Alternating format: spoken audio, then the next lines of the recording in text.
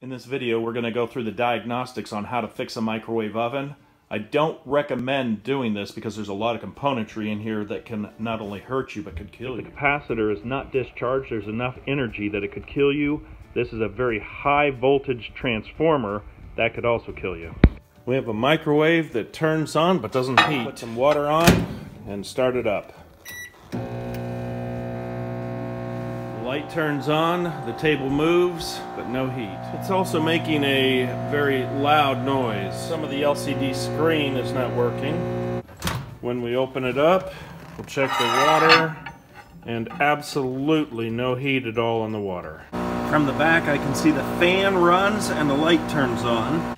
They have security screws on here so you can't get in there unless you have one of these special bits. We'll remove the screws. With the screws out, we can remove the top. Push the top straight back, lift off the top. We'll check the fuses. This one looks good.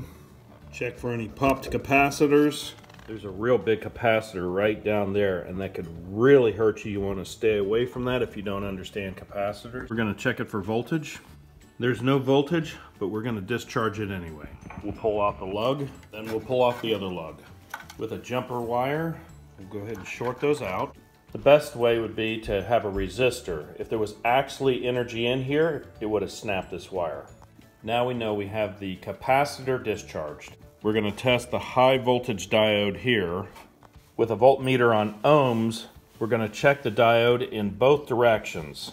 When we check both sides, there should be high ohms on one side and low ohms on the other side. To give you an example, here's a good diode. On one side, there's high resistance, and when we flip it over, you can see that there's low resistance on the other side. Diodes like this are a real common problem on these microwaves. With the screw loose, we can pull out the capacitor. Now we can disconnect it. These are pretty common diodes. You can pick them up online for about five bucks a piece. This diode is too big to be able to test on a voltmeter, so we've added a resistor and put voltage across it, and we find that it is responding the way it should. When we test the diodes in that method, they're both good. Here's a microwave stuck here in the snow, about the same size. Even though the capacitor's been in there for a long time, it's still just as dangerous as it could be. Next, we're going to test a capacitor. We'll go with ohms. When we put it on there, it'll go from low to high if it's good, and this looks like it's good. Next, we'll check from the terminal to the case, and it should be OL, and it's good. OL says no connection. We'll test the door switches next. We'll put the meter into continuity mode. We have continuity on the switch. We'll open up the door and it turns off. That one's got good. continuity on the second switch. We'll open the door. Huh. When we pull everything apart, it was pulling continuity from another source in the circuit. With the one wire off, now when we open the door, we have continuity. So that switch was doing its job. Last switch, we've got continuity. We'll open the door, and that works. This switching system will show pre-open and open of the door. Next, we have the transformer, and up here we have the magnetron. We'll test the transformer. We'll put 110 volts onto the transformer and then check the voltage output. I've got the capacitor disconnected and we're going to test the plug that goes to the magnetron. When we plug this in, it should read 3.3 volts and it does. The transformer looks good. We have two thermal fuses that we'll check. Pull off one end and that one's good. And the second one is good. And this right here is a lamp, which is not gonna make or break anything. If your light was burned out, this is how you would replace the bulb.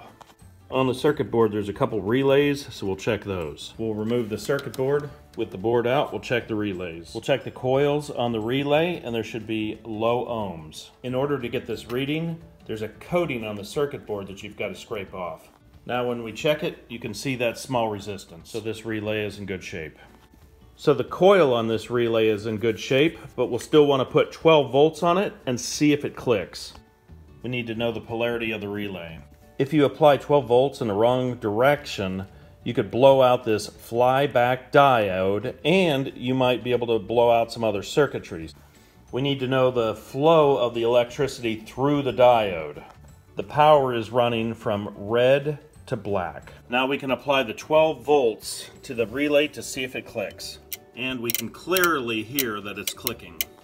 Here's the next relay, and you can clearly hear that one clicking. And here's the third relay, and this one's clicking as well, so they're all good.